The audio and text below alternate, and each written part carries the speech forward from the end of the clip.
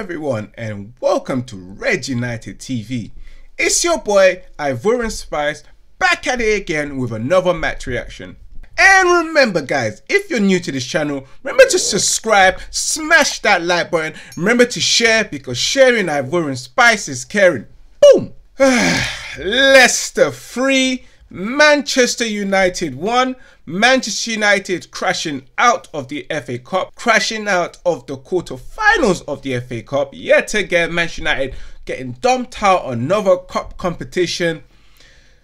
Are we ever going to win a trophy? I don't know. Under this management, I don't know. But yet, back him as we should, as we will. But still, I'm allowed to question things. Today's performance, rubbish, garbage, guys. Shit! Holy shit!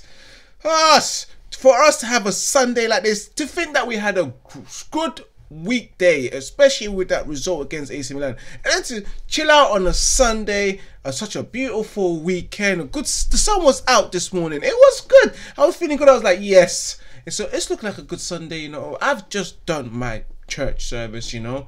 Ah, blessed be to the Lord. And then to end it off with Manchester United getting knocked out of the FA Cup on this Sunday, on the Sabbath day. How dare you, Manchester United? How dare you? You have disappointed all of us Manchester United fans. And I'm so angry. I'm upset. Yes, we are allowed to be upset because we want trophies. And yet again, we have been disappointed. Where are we going under this regime? Where are we going? I don't know. It's like a boomerang. We throw that and it comes right back at us and hit us in our face. Because why? Because we're fools, bro. We are fools. Manchester United, man. Manchester United.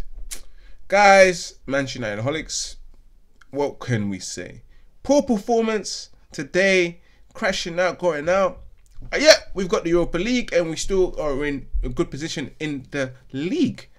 Let's go straight into the game because boy, boy, boy, boy, boy, Fred, McFred Pastor Fred with slabhead Harry Maguire, aka Butthead.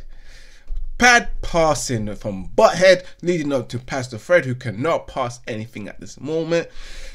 Poor for Kelechi Iheanacho to capitalize on us to score to make it 1 0. A poor start for Manchester United. And uh, guys, I have to be honest with you, that was Slabhead's fault to start off with. But with Fred, it's his fault for not being able to clear it away, especially with the danger.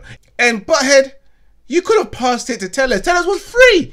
He was free, guys. He was so free. But boy, you and your big fat head failed to maneuver your neck straight to see onto your left to see Telles. Oh, this captain of us 80 million 80 million and we don't talk about this but yet we talk about Labide's transfer fees and all that stuff 80 million 80 British pounds pound sterling pound sterling guys this is the 80 million defender we have. No, no, no, no, no, no, no.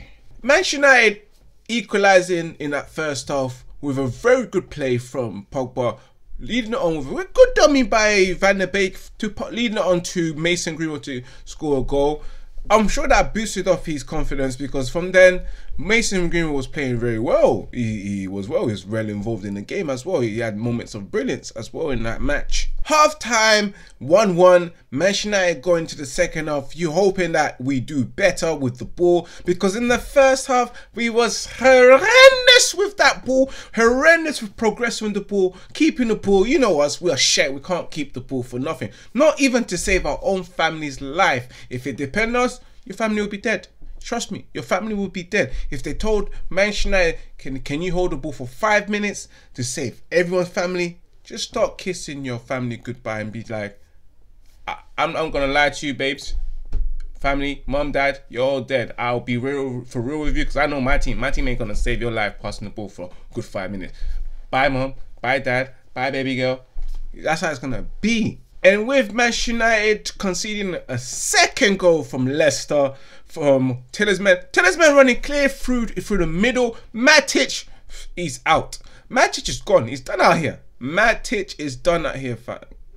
Matic is done out here, guys. Let's be for real because it was so easy for Tielemans to walk right through. One, two, through, going past Matic, slow poke, and Fred as well failing to close him down, leading up to that goal.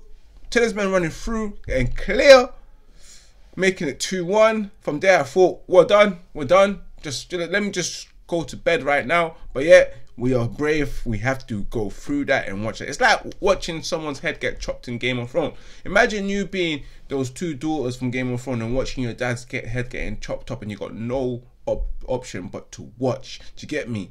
It's just like that. You just have to continue going. Constantly the third goal again from Kelechi Iheanacho. Oh, he's in hot form right now. In that goal, yeah, I thought Henderson could have done something. But again, it's not his fault. Manchester United losing 3-1 to Leicester, getting knocked out. It's been bad. A good start from the week, but anything like that, getting knocked out, it's been a poor week for us, man.